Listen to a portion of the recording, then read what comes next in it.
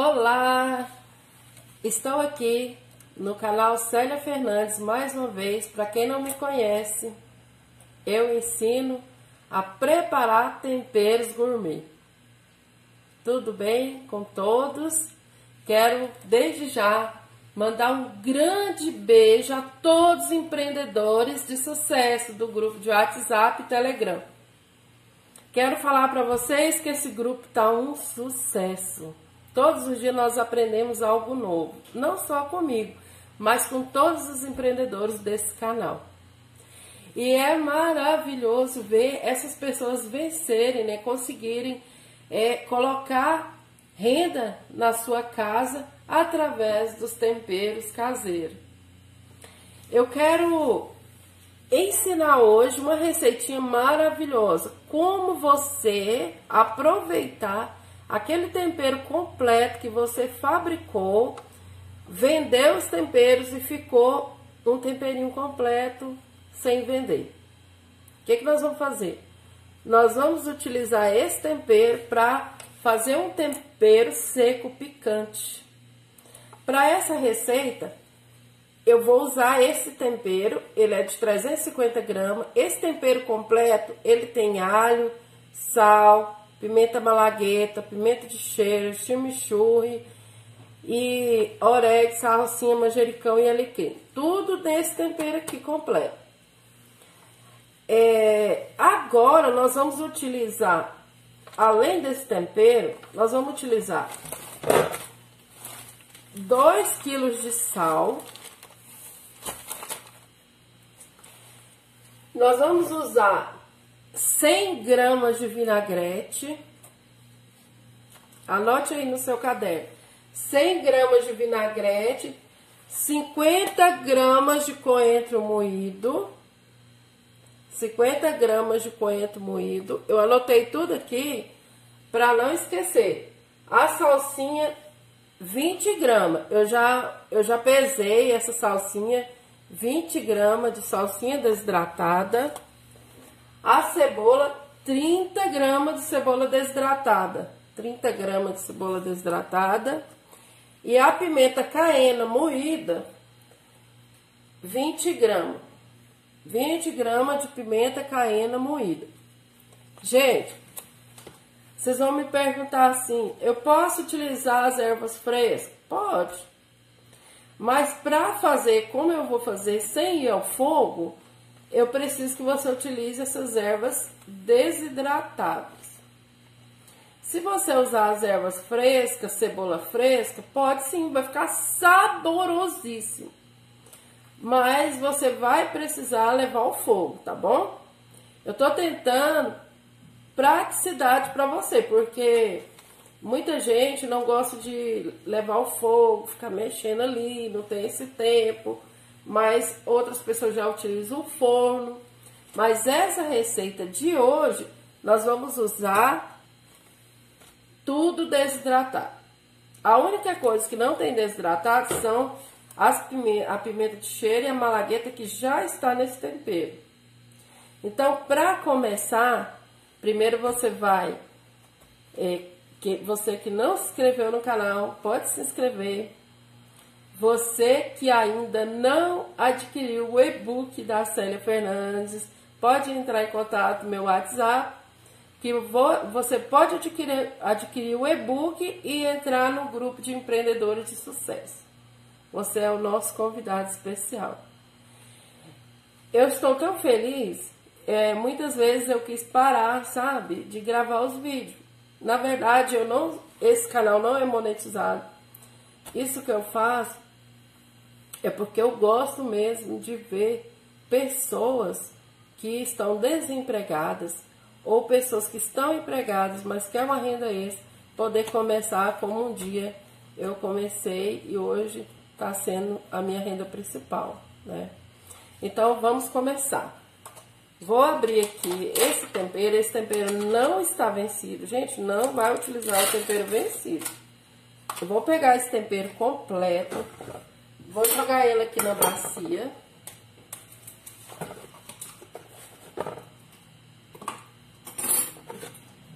Tempero completo 350 gramas.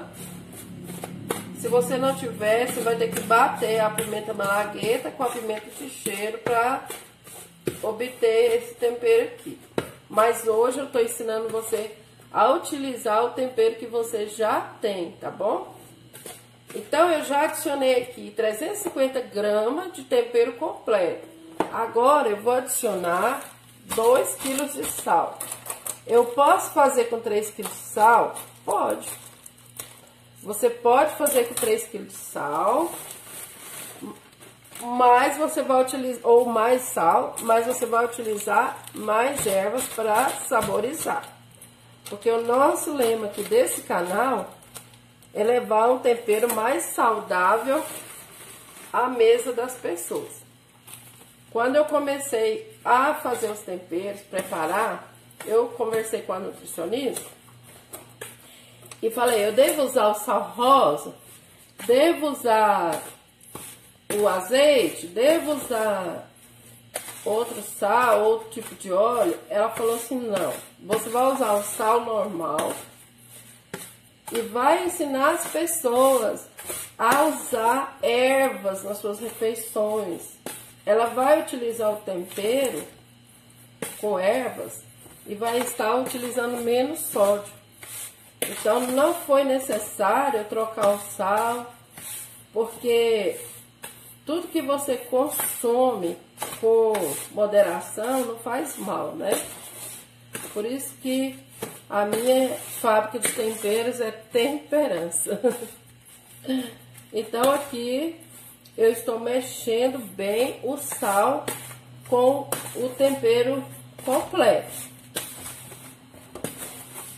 Depois que você mexeu e esse o sal ficou bem temperadinho aqui com o tempero completo, tem que mexer bastante, viu, gente? É, tem gente que vai falar assim, ah, aqui tem muita hortaliça, eu posso usar as ervas frescas. Pode sim, eu já expliquei isso. Sempre estão me perguntando isso. Você pode utilizar sim, mas vai levar o tempero ao fogo. Aqui eu já mexi bem o sal com 350 gramas de tempero completo. O completo da Célia Fernandes. Agora eu vou adicionar aqui ao tempero a pimenta caiena. Se você não tem a pimenta caiena aí, ah, essa pimenta tá um sucesso para quem quer emagrecer, tá utilizando muito ela. Não sei se é verdade, se emagrece, né? Então eu vou adicionar aqui a pimenta caiena, o coentro. Esse coentro é semente moído, viu? A salsinha a cebola desidratada. Quem não tem cebola desidratada e não quiser adicionar, já vem cebola no vinagrete, viu, gente? Adiciona mais um pouco de vinagrete ou bate uma cebola junto com o tempero. Só que ele vai soltar mais líquido e você vai precisar levar ao fogo, viu? E o vinagrete. Então, depois de, de ter adicionado todos esses elementos, eu vou misturar misturar bastante. É, talvez você pense assim, ah, por que, a Célia quase não utiliza açafrão? Pode utilizar se você quiser. Um, um corante aqui nesse tempero. Mas eu já tenho tempero baiano, que vem açafrão, que vem corante. Já tenho de bacon, que vem páprica. E eu não gosto que os temperos fiquem todos com o mesmo gosto. E aqui em Goiânia, as pessoas não utilizam açafrão em tudo, não. Tem alguns estados que as pessoas utilizam açafrão até no arroz, né? Aqui em Goiânia, povo, a maioria das pessoas gostam de arroz branquinho.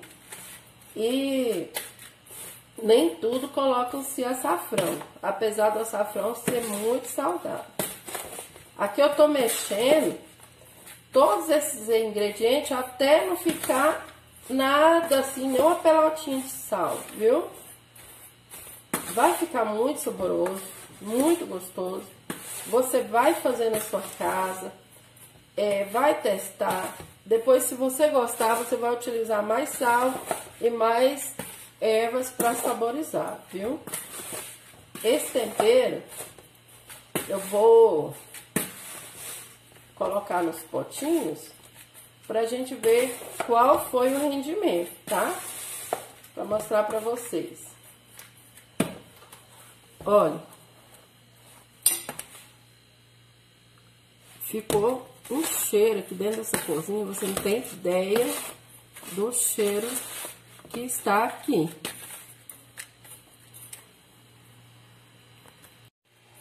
Eu vou mostrar aqui como que ficou para vocês verem essa maravilha aqui. Esse sal temperado, esse tempero seco, como você preferir falar, tá uma delícia. Gente, quem entrar aqui agora nem tá na hora do almoço, mas não vai aguentar. Tá cheiroso demais, tá muito gostoso. Agora, nós vamos colocar ele nos potinhos para ver, né, qual a quantidade que vai dar. Gente, então, é, antes de encher esses potinhos, eu quero falar para vocês, tem muita gente que fica perguntando por que eu mudei de pote. Não estou usando aquele pote com lacre Natan. Aquele pote é maravilhoso. Quem quiser usar ele, continua usando, não é difícil de encontrar. Esse pote sobre tampa, tá vendo? Que a gente pode utilizar o selo de alumínio. Eu preferi usar ele, foi até a potência embalagem que eu trabalho, que eu compro os potes lá. É, ela é daqui de Goiânia, mas ela entrega né, em todo o Brasil. Eu preferi comprar assim, eles me indicaram, porque vai sair mais em conta. Então você vai ter um preço melhor para passar para o seu cliente sai mais em conta esse pote, tem ele desse tamanho e tem ele que cabe 500 gramas, né, ou de 500 ml. Esse pote aqui, vamos ver quanto que vai dar o tempero seco, porque ele cabe 350 gramas de tempero cremoso. O, o outro tempero seco que eu fiz coube 250 gramas. Aí você vê o potinho que você está utilizando, né?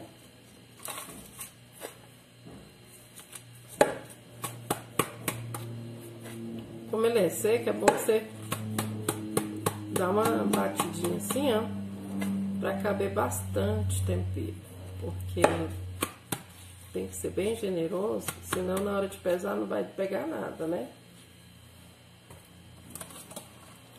Nós vamos encher todos esses potes.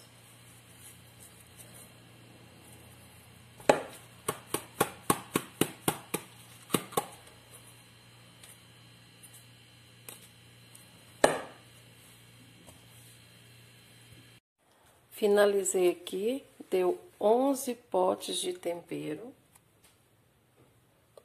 11 potes de temperos. Esses temperos, é, 11 potes, eu gastei 19 e 25, 19 reais e 25. Então, pessoal, é, tá aí para vocês, deu R$19,25 essa receita, deu 11 temperos e ficou sendo R$1,75 o custo de cada tempero, já incluindo o pote, fora o rótulo que você vai colocar ainda, né? E o selo de alumínio. Então, é muito lucrativo, dá para você vender bem conta, é um tempero rico, muito saboroso, pode ser usado em todos os tipos de carne, eu faço esse tempero para carne, mas tem cliente que usa em tudo. Tem cliente que usa em tudo, no churrasco, na, nas carnes. É, eu vi pessoas usando esse tempero até no arroz. Então vai do gosto de cada um. Esse tempero é maravilhoso, você pode colocar no pote, pode colocar no saquinho lacrar, muito bom. Pode vender para os empórios para eles vender a granel. Estou aí com vocês, espero que vocês gostaram. É, continua vendo meus vídeos até o final, clique no gostei, deixe um comentário e um beijo a todos os empreendedores de sucesso. Saiba que vocês estão no meu coração. Eu creio que todos nós vamos vencer, tá? A pandemia não vai nos vencer. Nós cremos no Deus do impossível, viu? Fique com Deus, um grande beijo.